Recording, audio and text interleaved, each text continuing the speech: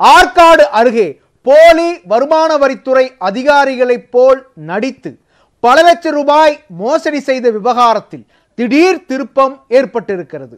உண்மையாலும் ஒரு ஐடி துறை அதிகாரி இதில் சம்பந்தப்பட்டிருப்பது அம்பலமாகி இருக்கிறது ஆறு பேர் சிக்கியது. எப்படி?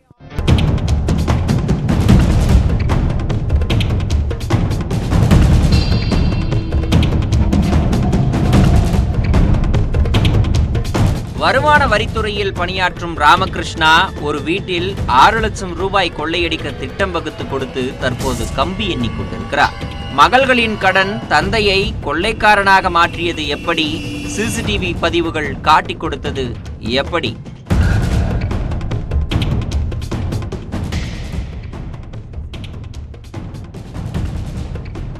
ராணிப்பேட்டை மாவட்டம் ஆற்காடு அருகே பைனான்சியர் மற்றும் தொழிலதிபரான ஆட்டோ கண்ணன் என்பவர் வசித்து வருகிறார்.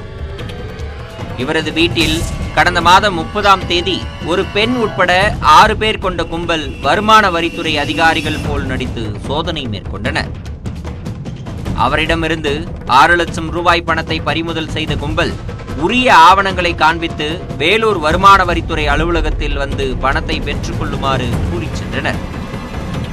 வருமான வரித்துறை அலுவலகத்திற்கு சென்று கேட்டபோது அவ்வாறு தாங்கள் எந்த குழுவையும் அனுப்பவில்லை என அதிகாரிகள் கூறியுள்ளனர். இதனால் அதிர்ச்சியடைந்த கண்ணன் பணம் கொள்ளையடிக்கப்பட்டது குறித்து ராணிப்பேட்டை காவல் கண்காணிப்பாளர் அலுவலகத்தில் புகார் அளித்தார். போலீசார் சிசிடிவி காட்சிகளை ஆய்வு செய்தபோது கொள்ளையடிப்பதற்கு முன்பு ஒரு நபர் கண்ணன் வீட்டை நோட்டமிட்டு சென்றது பதிவாகி இருந்தது அவரை பிடித்து விசாரித்த போது கண்ணன் வீட்டில் ஐந்து ஆண்டுகளாக வாடகைக்கு வசித்த முப்பத்தொன்பது வயதான எழிலரசன் என்பது தெரிய வந்தது. கண்ணனுக்கும் அவருக்கும் இடையே பணம் கொடுக்கல் வாங்கல் இருந்து வந்தது.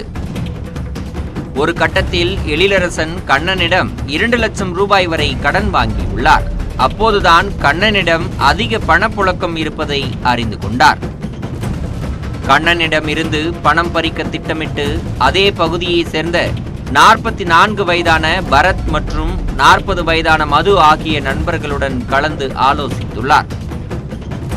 அவர்கள் இருவரும் சென்னையில் காவல்துறையில் பணியாற்றி பணி நீக்கம் செய்யப்பட்ட நரேன் என்பவரை தங்கள் குழுவில் சேர்த்தனர்.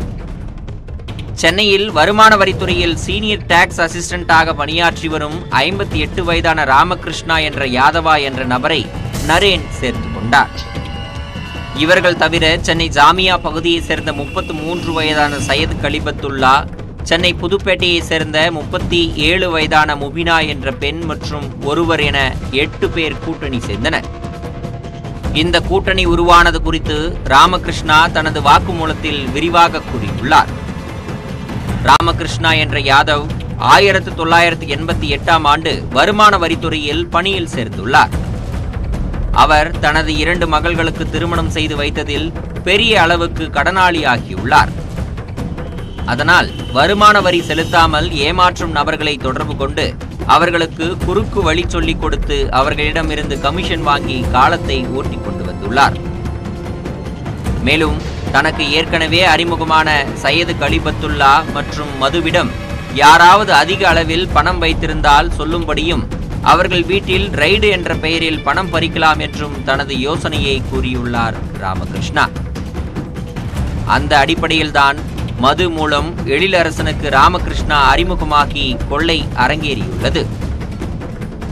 இந்த கொள்ளைக்காக ராமகிருஷ்ணாவுக்கு ஒரு லட்சம் ரூபாய் மதுவுக்கு ஒரு லட்சம் ரூபாய் எழிலரசனுக்கு ஐம்பதாயிரம் அவருடன் வந்த நபர்களுக்கு இரண்டு லட்சம் ரூபாய் என ஆளாளுக்கு பணத்தை பங்கு போட்டுள்ளனர். எழிலரசன் அளித்த தகவலின் பேரில் பரத் உள்ளிட்ட ஆறு பேரையும் போலீசார் கைது செய்துள்ளனர்.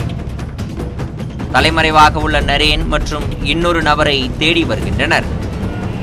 இந்த கும்பல் தமிழகத்தில் வேறு எங்காவது கொள்ளையில் ஈடுபட்டுள்ளனரா எனவும் போலீசார் விசாரித்து வருகின்றனர்.